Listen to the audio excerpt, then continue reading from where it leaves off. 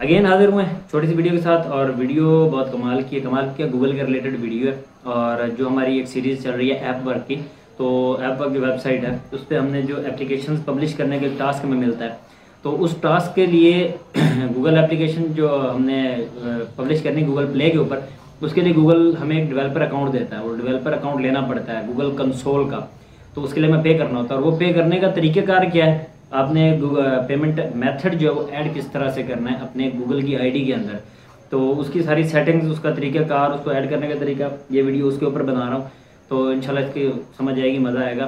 तो अगर चैनल पर नए हो तो चैनल को सब्सक्राइब कर दो बेल नोटिफिकेशन को ऑल पे क्लिक कर दो, ताकि आने वाली वीडियोस भी आपको मिलती रहें और डिटेल्स जो आप तक पहुँचती हैं, जो स्किल्स की वीडियोस होती हैं वो भी।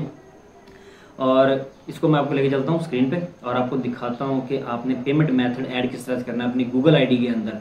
और फिर डेवलपर के लिए पे करना है, वो तो कंसोल वगैरह के लिए पे करना है, वो दूसरी वीडियोज़ के अंदर मैंने बना दी है वीडियो पे करने वगैरह के बारे में सब कुछ। लेकिन पेमेंट मेथड ऐड करने के बारे में गूगल आईडी के ऊपर ये वीडियो है। तो वीडियो पूरी देखना ताकि आपको सही तरीके से समझ आए। जब तक वीडियो पूरी नहीं देखोगे, पूरा प्रॉपर कोई प्रोसीजर समझ नहीं आता।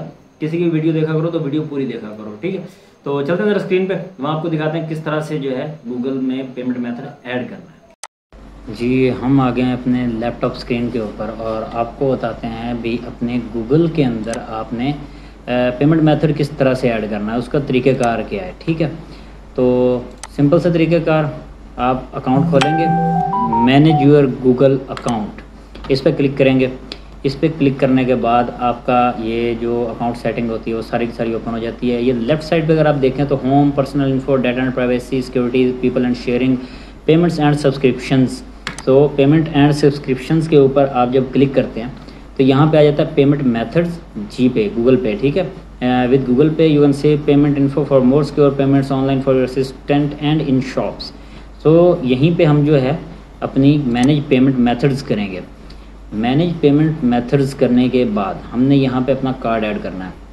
कार्ड अगर आपके पास ये ऐड पेमेंट मेथड में आप जाएँगे, अगर आपके पास कार्ड है मास्टर कार्ड है देन वेल एंड गुड यहाँ पे ऐड क्रेडिट और डेबिट कार्ड सो हम यहाँ पे जो कार्ड की डिटेल्स हैं, वो एंटर करते हैं.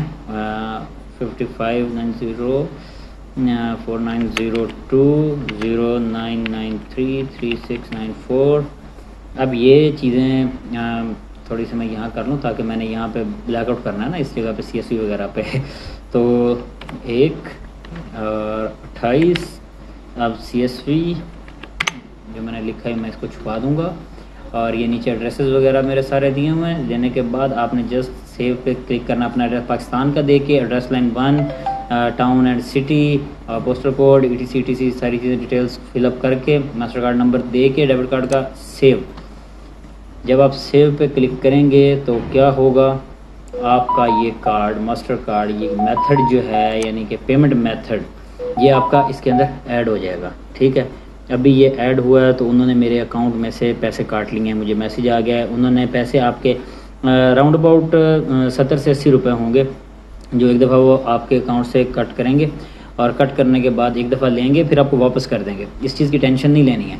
ये यहाँ पे ऐड हो गई है, ठीक है? आप एक्टिविटी भी चेक कर सकते हैं यहाँ पे सब्सक्रिप्शन सर्विसेज़ एड्रेसेस अगर आपने एड्रेसेस अपने अपडेट करने हैं मेरा ये एड्रेस जो यहाँ पे दिया हुआ है, एक ठीक है? अगर मैं कोई न्यू एड्रेस ऐड करना चाहता हूँ तो मैं यहाँ पर जाके न्यू एड्रेस अपना ऐड कर दूँगा। सेटिंग के अंदर जाके आप अकाउंट की सेटिंग्स अगर और देखना चाहते हैं तो वो आप सेटिंग्स भी देख सकते हैं। यहाँ पे प्रोफ़ाइल पेमेंट प्रोफ़ाइल आईडी अगर आपको कहीं पे ज़रूरत पड़ती है कि आपने पेमेंट प्रोफ़ाइल जो देनी है, उसकी आईडी कहीं पे आपने प्रोवाइड करनी है। जैसे कि ये है the payments profile ID formerly billing ID is the unique number we use to identify the legal entity responsible for bills associated with this payments account. The legal entity is the organization or individual to which this payments account is registered.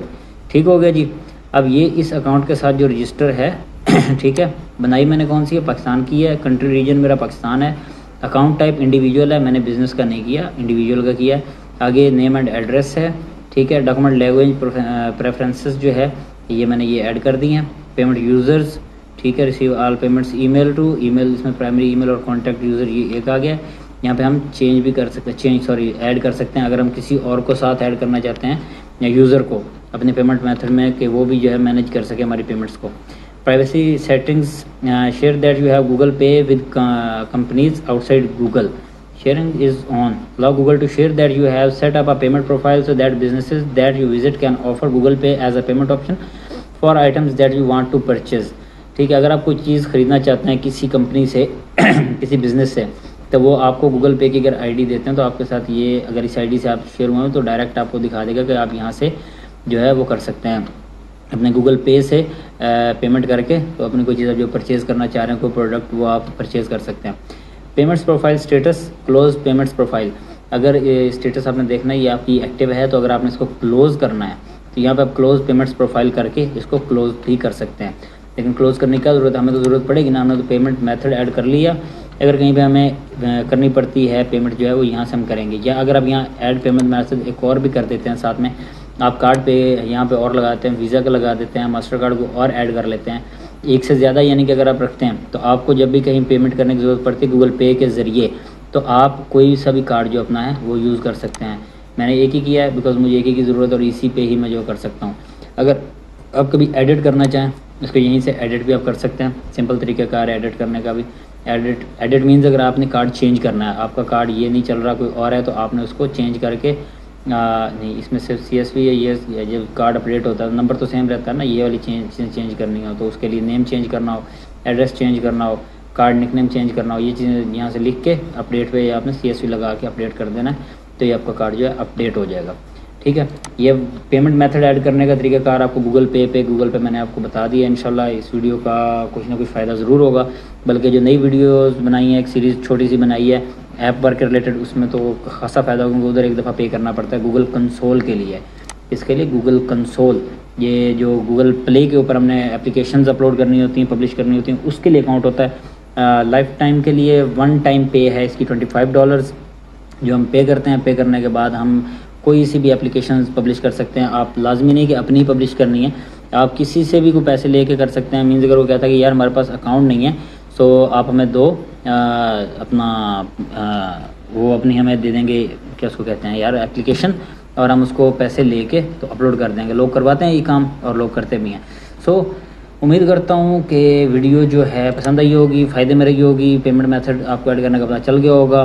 तो इसी तरह से मिलते हैं किसी और video में किसी और टॉपिक के साथ। तब तक के लिए मुझे इजाज़त दीजिए। अल्लाह हाफिज़।